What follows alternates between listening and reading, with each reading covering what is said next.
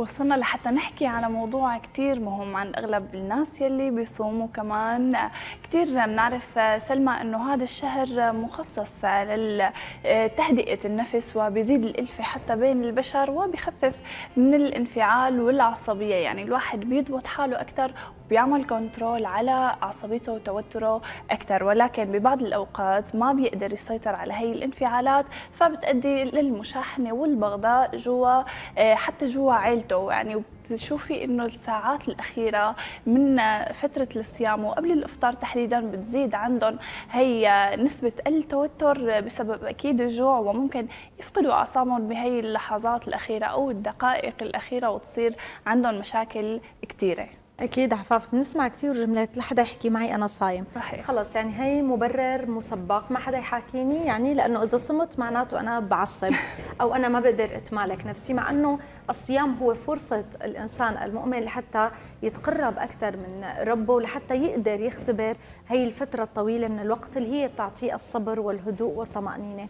لهيك اليوم رح نحكي أكثر عن الدعم النفسي وأهميته في شهر رمضان المبارك. في كثير ناس ممكن تتخلص من عادات سيئة تقلع عن الدخان آه، تتخلص من أحيانا نوبات الغضب وغيرها كثير من التصرفات بفضل شهر رمضان المبارك. لنحكي أكثر عن هالموضوع بيصيرنا يكون معنا بالإستوديو الاستشارية النفسية والأسرية ولاء لحلح صباح الخير. رمضان كريم. ان شاء الله شهر كريم علينا وعليكم.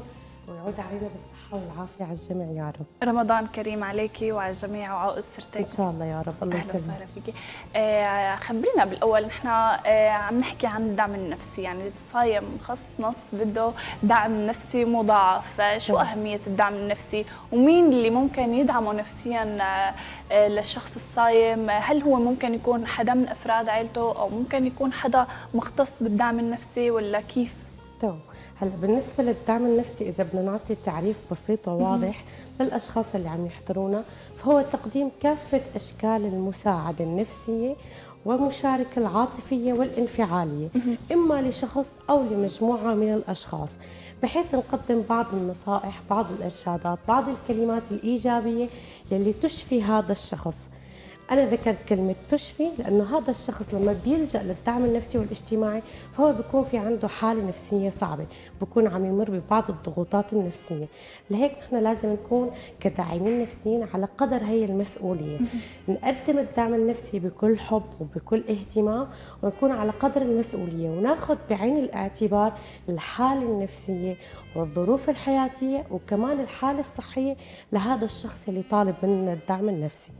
أما بالنسبة لمن هو الداعم النفسي فكتير ممكن يكون ببعض الأحيان الداعم النفسي الأم أو الأب أو الأخ أو الأخت أو حتى الصديق أو ممكن زميل بالعمل. لأنه الداعم النفسي هو شخص إيجابي هو شخص متفائل هو شخص واثق من نفسه. فبعض الأحيان قد يفي بالغرض أنه يكون أحد المقربين أو أحد الأصدقاء هو اللي عم يقدم هذا الدعم النفسي. لكن في حال كانت الحالة النفسية صعبة أو متحولة لمرض نفسي أو لاضطراب نفسي فهون الأفضل أنه نلجأ لداعم نفسي. بيكون عنده دراسات بيكون عنده مؤهلات بيكون عنده خبرة حياتية فأكيد رح يساعدنا بطريقة إيجابية أكثر وبطريقة أفضل تفيد صحتنا النفسية. طيب أستاذة ولا خلينا نحكي اليوم كثير ناس بتبرر إنه نقص الغذاء أو الشراب لفترة طويلة يعني الجوع أو العطش ممكن يكون هو سبب التوتر أو الحالة النفسية لأنه دائما الناس بتربط مزاجها بالأكل.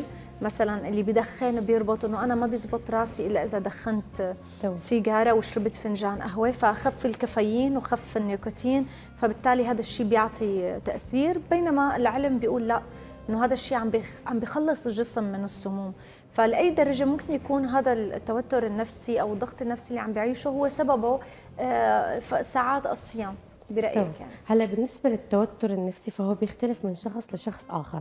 اولا حسب الظروف الحياتية وحسب الضغوطات النفسية اللي عند هذا الشخص. يعني الشخص المرتاح اللي ما عنده مشاكل بعائلته أو بعمله مرتاح ماديا فبيكون عنده الضغط النفسي أخف نوعا ما من شخص عنده مشاكل مادية عنده ساعات عمل طويلة عنده مشاكل ضمن عائلته حتى. فبيختلف الضغط النفسي من شخص لشخص آخر. لكن كلنا اليوم بحاجة للدعم النفسي الاجتماعي كلنا بحاجة للكلمة الحلوة كلنا بحاجة لهذا الشخص اللي ضحكته ما بتفارق وشه وخصوصا في شهر رمضان المبارك يعني نمط حياة مختلف أوقات طعام مختلفة ممكن بعض الأشخاص يتخربط عندهم نظام النومي أو الفئة. صحيح. في كتير أشخاص بتقلك أنا ما بتعشى أو أنا ما بقدر أتعشى. فإجا شهر رمضان لازم نتسحر. مثل ما ذكرتي حضرتك بعض الأشخاص إن كانوا مدمنين مثلا على الكافيين أو على القهوة النسكافيه أو حتى على التدخين فيحاولوا هن يستغلوا هذا الشهر. مو بس صيام عن الطعام والشراب لا نحن بدنا إذا بدنا نعرف مفهوم الصوم فبدنا نصوم عن ثلاث أمور يلي هي صيام العقل وصيام الروح وصيام النفس. أنا لما بدي صوم بس عن الأكل والشرب فأنا ما رح استفاد شيء من الصيام. مثل ما ذكرتي إنه أنا صايم لا حدا يحاكيني. بدنا نحاول شوي نبعد عنها شوي نتحلى بالصبر ناخذ الأمور بروح رياضية أكثر يعني صيام العقل إني أنا بعد عن الأفكار السلبية. أبعد عن الأمور السلبية عن الأشخاص السلبيين الأشخاص يلي ممكن يسببوا لي عصبية. أما صيام الروح فنحاول نتقرب أكثر من رب العالمين. نستغل هذا الشهر بالروحانيات بالعبادات بكافة أشكالها. أما صيام النفس اللي هو الصيام عن الطعام والشراب وعن الغرائز الجنسية. فنحاول نحن نستغل هذا الشهر الكريم ونصوم صيام متكامل. نحاول قد ما فينا ناخذ الأمور بروح رياضية بروح تفاؤلية ونحط ببالنا أمر إنه كل الأشخاص كل البيوت كل الأسر عندهم مشاكل. لهيك أنت مانك استثناء مو بس أنت صار معك مشكلة اليوم فرضا مو بس أنت صايم وجوعان وتعبان وعطشان لا كل الأسر بتعاني من المشاكل بتعاني من الخلافات. نحاول نحد من التفكير بهي المشكلة. نحاول نحد من التفكير بهذا الأمر السلبي. ونحط ببالنا مثل ما أنا صايم وتعبان أو جوعان أو عطشان كمان غيري صايمين وتعبانين وجوعانين وعطشانين. فما في داعي اطرقهم من نية. خلينا نعد للعشرة قبل ما نفكر إنه نعصب خاصة بالساعات الأخيرة قبل أذان المغرب. آه، في أشخاص آه، تلاقيهم بدون صيام وبدون ما يكون عندهم انقطاع عن الأكل أو بشهر رمضان تلاقيهم على طول بدهم يأكلوا أو يشربوا أو يأخذوا مغذيات وفيتامينات لحتى تعطيهم شوية إنرجي وطاقة لحتى يقدروا يكفوا حتى نهارهم برواق يعني في ناس ما بتروق إلا إذا أكلت وشربت بتقول لك أنا هرمون السعادة عندي بالأكل والشرب. فهون قد إيه نسبة علاقة الغذاء بالطاقة الصحية والطاقة النفسية. النفسية. تمام هلأ بالنسبة لطاقة الغذاء وعلاقته بالصحة النفسية وبطاقة الإنسان فارتباط كثير وثيق يعني ما فينا نفصلهم عن بعض. لأنه مثل ما ذكرتي في أشخاص بتقول لك أنا ما بصحى الصبح إذا ما شربت فنجان قهوة أو إذا ما شربت كاسة نسكافيه.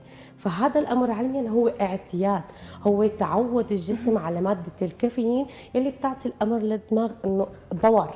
أقلع من أول وجديد استعد لنهار جديد. هلأ في بعض الأطعمة بتعطينا شعور بالسعادة أو بترفع مستوى هرمون السيروتونين ضمن الجسم اللي هو مسؤول عن إفراز آه، بعض المواد العصبية ضمن الناقلات الحسية ان كان بالمخ يلي بترفع وبتزيد من مستوى هرمون الإدرينالين يلي هو مسؤول عن السعادة. مثل الشوكولا الغامقة مثل التوت البري. فهدول المادتين أو هدول النوعين من الأغذية هن فعليا بس نتناولهم بيعطينا شعور بالسعادة بيعطينا إحساس بالسعادة. وكمان بتختلف هلأ في بعض الأشخاص تقول لك أنا بفضل هذا الطعام ما بفضل هذا الطعام. في أشخاص تقول لك أنا نباتية. يعني بستمتع أو بحس حالي سعيدة بصحن سلطة مثلا. صحيح. وحتى علميا النبات الخضراء وخاصة اللي أوراقها خضراء مثل الخس البقدونس الجرجير فهي بتعطينا شعور بالراحة النفسية. لأنه النباتات الخضراء هي عم تنشط كثير هرمونات ضمن الجسم حتى بتساعد تجديد خلايا البشرة وبتعطي أمر للدماغ إنه شوي تعديل ال mood شوي تعديل المزاج. يعني في بعض الأطعمة قد تساعد بتعديل المزاج وفي بعض الأطعمة بالعكس. يعني كمثال ثاني عندنا فول الصويا. فينا نجيبه من أي محمصة. هلا بالنسبة لفول الصويا هو بيزيد نسبة الذكاء بحفز الذاكرة قصيرة المدى. يعني فرضا أنا عندي امتحان من الأشخاص اللي بدرسوا اليوم بنسى بكرة. ففينا ناخذ نحن هرمون آه، ناخذ فول الصويا على الريق لأنه فول الصويا بحفز الذاكرة قصيرة المدى بزيد نسبة الذكاء بيساعدنا على التخلص من موضوع الذاكرة القصيرة. اللي هي مسؤولة عن النسيان أو التذكر وكمان بيحفز مستوى هرمون الأنوثة. يعني إذا بدنا نعطي بعض الأمثلة هي ذكرنا الشوكولا ذكرنا التوت البري وكمان ذكرنا فول الصويا والنباتات الخضراء. هدول أبسط الأمثلة وبتناول أيدي الجميع. أكيد. أستاذة ولاء اليوم خلينا نحكي شوي عن البيئة المحيطة قد إيه بيتأثر فيها الإنسان؟ بشكل عام والصائم بشكل خاص.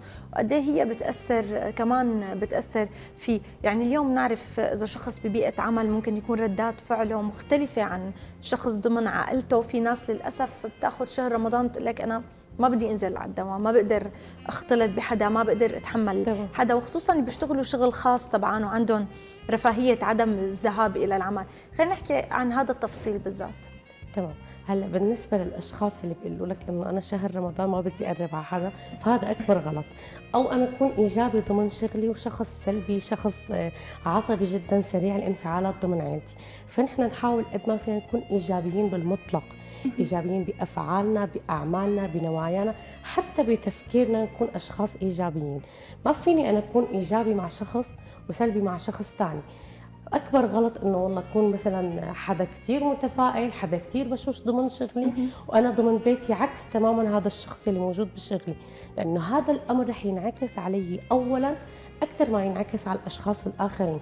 باللا شعور وبالعقل الباطن هي الردات الفعل العصبية يلي عم أظهرها ضمن البيت مع عائلتي رح تظهر بشكل لا مباشر وبطريقة لا إرادية ضمن العمل أو ضمن أصدقائي بالعمل.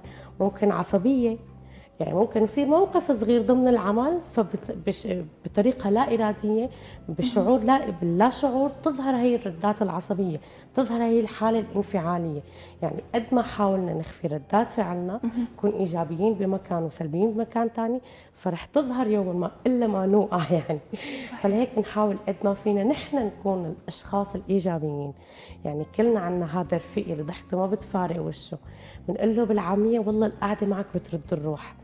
طب نحن نكون هذا الشخص نحن نكون المتفائلين نحن نكون الداعمين النفسيين لأنفسنا بالأول. يعني في مقولة بتقول إن لم تكن نورا لنفسك فلن تضؤك كل أنوار الكون. أنا بدي بلش من ذاتي بدي بلش من حالي. فيني ببداية يومي دخل توكيدات إيجابية توكيدات تعطيني شعور بالسعادة. هالأمر رح ينعكس على صحتي النفسية رح يعطيني شعور بالسلام الداخلي بالطمأنينة. يعني مثلا أنا ببداية يومي أول ما فيق من النوم قبل ما بلش بعجقه الحياة وأركض بضغوطات الحياة. بلش مثلا أنا شخص سعيد ومتفائل. مثلا أنا شخص ناجح بعملي وسأجذب هذا النجاح لحياتي بشكل عام. ندخلها بشكل يومي. يوم بعد يوم رح نجذب هي الأمور كلها لحياتنا. ليش؟ لأنه عقلنا الباطن مثل ما نحن بنبرمجه مثل ما نحن بنعوده بيتبرمج. إذا بدنا نعطي مثال عن الداعم النفسي الإيجابي فأفضل مثال هو دور الأم والأب. يعني الأم والأب بالتربية والعطاء والمحبة مع الأبناء من هن وصغار لحتى يكبروا. قديش في تعب قديش في صبر قديش في معاناة قديش في عطاء آه عطاء بشكل مبالغ فيه. فهذا الدور دور الأب والأم هو أفضل مثال على تقديم الدعم النفسي الاجتماعي. الله يساعد الأب والأم على أيوة. تحملهم لأولادهم. يعني هن كمان بنفس الوقت بيعلمونا الصبر بس انهم كمان بنفس الوقت بحاجة لحتى نحن كمان نكون داعمين نفسيين لهم ببعض الأوقات مو على طول المسؤوليه عليهم. فهون بتلاقي الشخص قد ما كان عنده سلام داخلي وألفة ومودة ومزاجه رايق على الآخر بتلاقي إنه خلص أنا ماشي بحالي بهذا العالم. فبيجي شخص بتصير معه موقف أو بيجي شخص بيعكر له كل مزاجه طول اليوم أو بخليه يعصب ويفقد سيطرته على انفعالاته. ممكن توصل معه المرحلة لأنه يفطر خصوصا إذا كان مدمن آه، بدخن أو آه، يعني قهوة أو شاي أو كافيين. فهون قد إيه مهم تواجدنا نحن ببيئة آه، إيجابية. يعني الأشخاص اللي حوالينا قد إيه ممكن يأثروا علينا سلبا أم ايجابا؟ تمام. هلأ إذا بدنا نشبه جسم الإنسان فنحن بنشبهه بالإسفنج.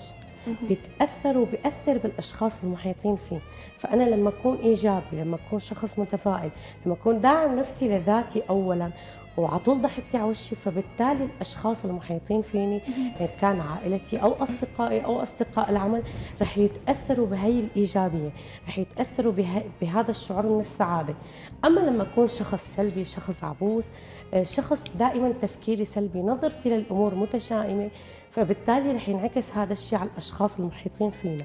لأنه طبيعة جسم الإنسان مثل المغناطيس هو يؤثر ويتأثر بالأشخاص المحيطين فيه. لهيك بنلاحظ أغلب الأشخاص الناجحين بتلاقي بتربطهم ببعض صلة معينة إما عمل أو قرابة أو ممكن زمالة بعيدا عن العمل. وحتى الأشخاص السلبيين الأشخاص المتشائمين كمان نفس الشيء. يعني مثل ما نقول بالعامية الطيور على أشكالها تقع. فنحاول نحن نبلش من ذاتنا. يعني نحن هلا خلال شهر رمضان الكريم فينا نستغل هذا الشهر مثلا نمارس بعض الرياضات الغير مجهدة مثل المشي أو نطلع على الطبيعة ناخذ هواء نظيف نشوف اللون الأخضر إن كان نباتات أو أشجار. هذا الأمر رح يعود علينا بالراحة النفسية. فينا كمان مثلا القراءة قراءة بعض الكتب قراءة بعض الروايات طبعا اللي بتحمل طابع إيجابي بعد عن السلبية قد ما فينا. فأكبر غلط إنه والله أنا صايم لا حدا يحاكيني. لا نحن نحاول قد ما فينا نستغل هذا الشهر لناخذ الأجر والثواب الكامل من هذا الشهر.